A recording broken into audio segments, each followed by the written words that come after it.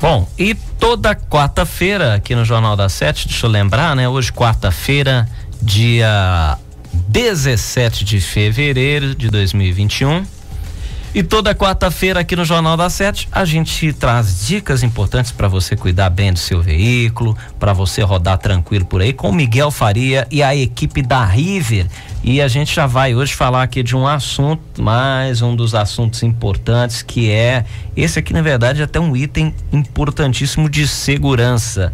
Não é mesmo, Miguel Faria? Aquela situação dos freios, né? Pisou no freio, respondeu legal, frenou direitinho, já é um bom caminho para garantir a sua segurança de quem está com você no seu veículo, geralmente sua família, seus amigos, e para quem está compartilhando a pista, seja no perímetro urbano ou na estrada com você. E hoje a gente vai trazer algumas dicas dicas aí é, para você cuidar bem dos seus freios. Não é isso mesmo, Miguel? Bom dia. Bom dia, meu querido amigo Edson Santana, David Oliveira. Né? Bom dia. Bom dia, uma quarta-feira maravilhosa. Hoje estamos iniciando a quaresma, né? Quarta-feira, momento de reflexão, né? Para nós que somos cristãos, é uma reflexão. E vamos falar um pouquinho sobre essa importância né, do sistema de freio do carro que é um item extremamente importante, não é importante, é extremamente importante, né? Para a segurança de você e da sua família. É. Ô, ô, ô, Miguel, tem até uma música que, é claro, é, é, é uma ironia essa situação. Ah, se não me engano, o David está aqui, ele me, me corrige se eu estiver errado. Acho que é do César e Paulinho que é aquela nanana, pisar no freio, Zé. Sim, senhor. Né? É. É, e tem tantas outras piadas com esse negócio de pisar no freio, né? Tem um amigo meu, vou contar, o Santo, não vou, disse que ele foi, foi, foi ele e o irmão para uma festa, né? É, é, lá em Ponte Alta. E naquela época, antigamente, eles tinham uma Brasília invocada, trabalharam, fizeram uma boa colheita, compraram uma Brasília, aí foram. Aí no meio do caminho eles depararam com um enorme buraco, estrada de terra e tal. Aí disse que um virou pro, pro outro falou assim, ó o buraco, o outro, já vi. Ele, ó o buraco, já vi. Ele, ó o buraco, ele já vi. E agora já caí também. Não pisou no freio. Mas muitas vezes as pessoas pisam no freio, ô, ô Miguel, e o freio não responde. O que fazer nessa situação?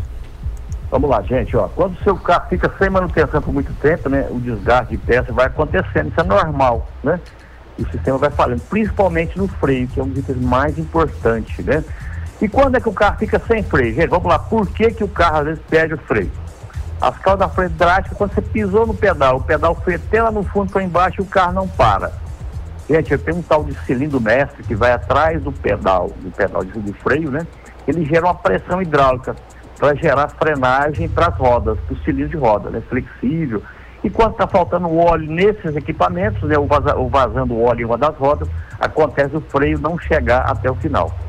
Pode ser também, gente, uma coisa, o sistema de freio é normal, mas a partilha, o disco freio está no. Já, já, já, não, já não falta atrito, não tem atrito.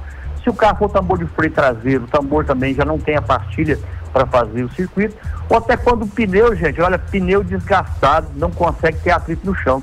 Tá tudo funcionando. O pneu tá careca, principalmente na época da chuva. Você pisou no freio, o pneu não vai ter o atrito e ele vai raspar. E nesse momento também você não vai ter, vai ter freio, né? Agora, gente, vamos falar uma coisa muito importante.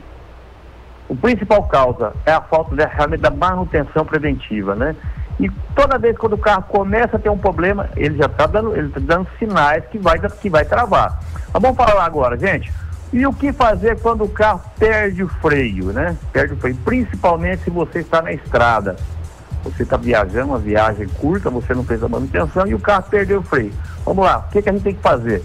Primeiramente, gente, pisou no, no pedal, o pedal não parou, o jeito é ficar pisando várias vezes seguidas, até ele ganhar pressão de óleo para voltar a frear.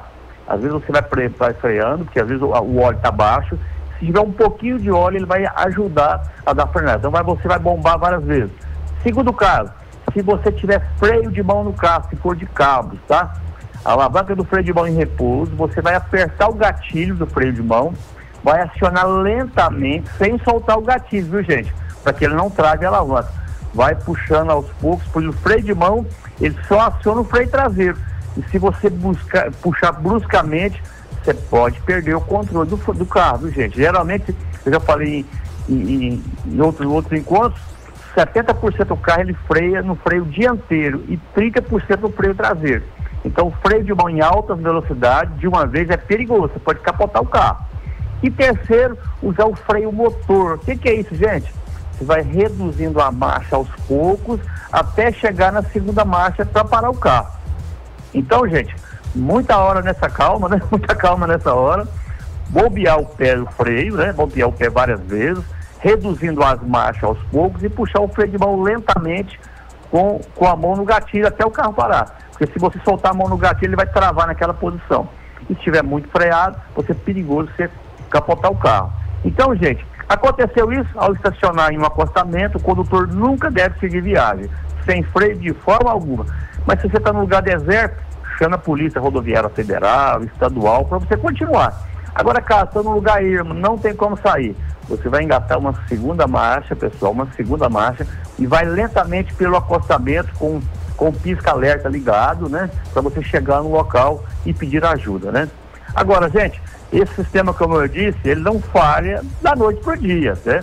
O carro vai avisando que tem algo que não está legal.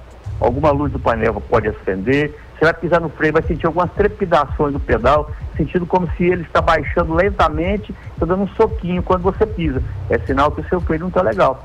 E observar sempre, né, gente, se o óleo de freio não está baixo no reservatório. Muitas vezes o óleo está ficando baixo, é porque tem alguma avaria, alguns sistemas, né? assim comecei, pode ser no flexível, pode ser de roda. E quando o óleo abaixa, é porque sinal tem algo errado e você tem que levar o carro no mecânico imediatamente. Então, gente, para que isso não aconteça, o ideal a cada 10 mil quilômetros você levar o carro para conferir o sistema. Ver como é que está a partida do meu carro, ver como é que está o óleo de freio do meu carro, se tem algum vazamento. São momentos simples, baratos, né, que você vai economizar muito para frente, né? É o que eu sempre digo, né, Sr. Vida Rádio Sete Colinas. Sempre fazer a manutenção preventiva. Ela é muito mais barata que a corretiva. E principalmente no freio, que esse é um, um item importantíssimo de segurança para o motorista e para a família, né? E lembrando, quem tem dúvidas, dá aquela passadinha na River, não é isso, Miguel? Passa na River, eu vou ter um prazer para a gente trocar ideias, para falar um pouquinho sobre freio, né? Ou se você também quer acessar mais informações, acessando as redes sociais, no Instagram da River, no Facebook, ou no arroba River pois toda semana tem algumas informações sobre o tema, né?